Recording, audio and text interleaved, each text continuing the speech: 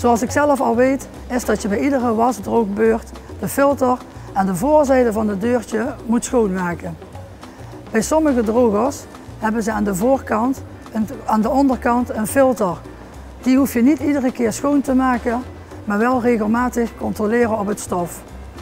Als er te veel stof op de filter zit, kan de warmte uit het stof niet weg en kan het brandgevaar veroorzaken. Het reinigen van de filter kan heel eenvoudig door middel met een stofzuiger. Sommige wasdrogers hebben een slang die naar buiten afvoert. Wat ik niet wist is dat je één of twee keer per jaar ook die slang moet schoonmaken. Dit doe je met behulp van, een, van de buren of de familie, want dit kun je niet alleen. Een andere tip die me bij is gebleven is uh, dat je s'nachts niet de droger aan moet zetten als je weggaat of als je gaat slapen. Dit in verband met de veiligheid van jezelf. Ik hoop dat deze tip je bewust maakt van je eigen rol op het gebied van brandveiligheid.